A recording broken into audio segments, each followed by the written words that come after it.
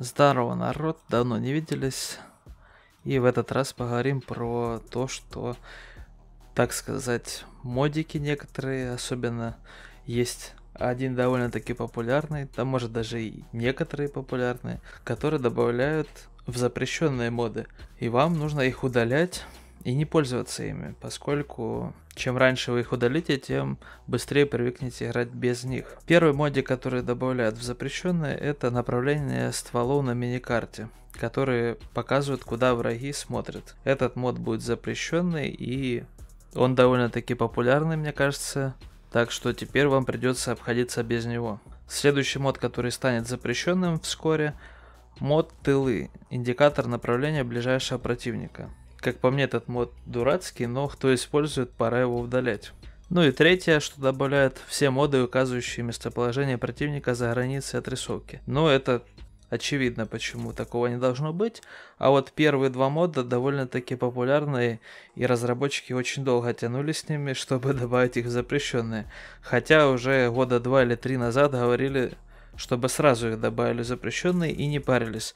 Но разработчики приучили игроков к модам, сделали сайт с модами, где можно качать модики и модпаки.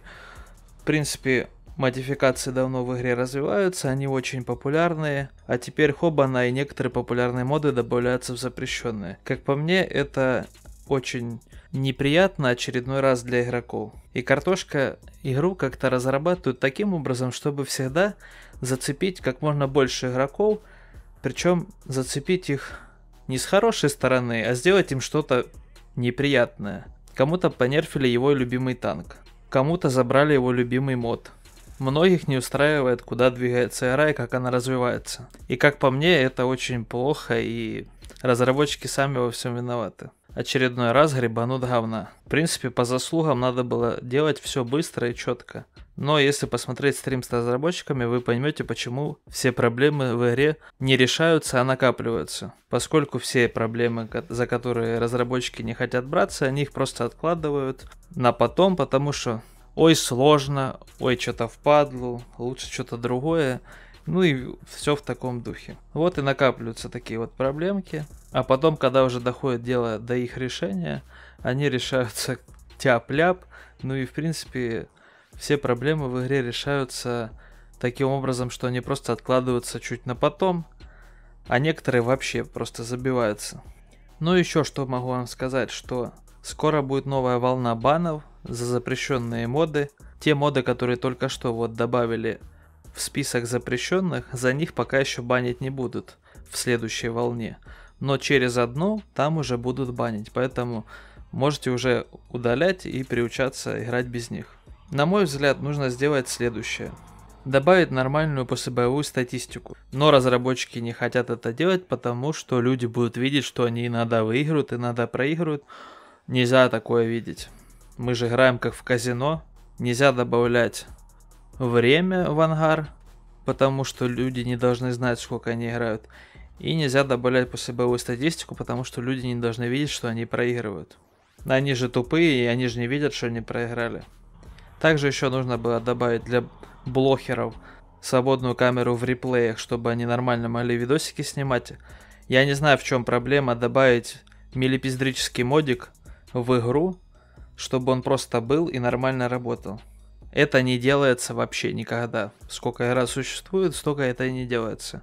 И последнее, чего не хватает игре – в ангаре должен быть раздел, где можно четко посмотреть броню всех танков, наклонную броню, рикошеты, там пробитие, все посмотреть снарядами, все понять, какие танки куда, что, как стреляются, какая у них броня.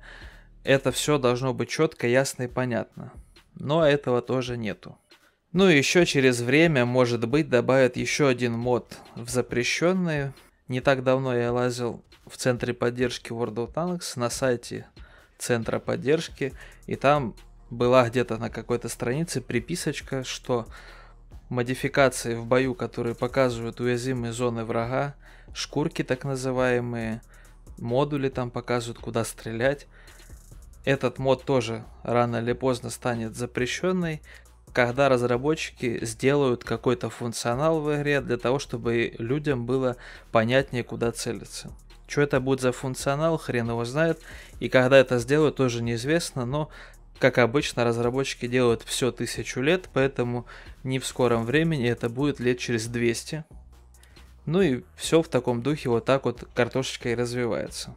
Если бы картошка добавила все эти три изменения, которые нужны в игре, после боевая статистика, функционал для просмотра брони всех танков и свободная камера в реплеях, да и в принципе можно было бы как-то доработать возможность снимать красиво видео, это для их же популярности игры было бы полезно, было бы больше красивых видео. Если бы все это добавили в клиент, то можно было бы закрыть вообще моды, чтобы все играли в равноценную нормальную игру. Это бы снизило количество всяких проблем, что много читеров в игре, что после выхода всяких патчей у многих игра глючит из-за тех же самых модов. Да и в центре поддержки, если вы играете на клиенте с модами, вам никто не поможет. Но разработчики не закрывают модификации, потому что они берут иногда идеи и моды и добавляют их в игру, потому что, потому что мододелы делают часть работы вместо разработчиков, которые обленились и ничего уже вообще не делают, а берут готовое у мододелов. С вами был Варчик, орать красиво, пока.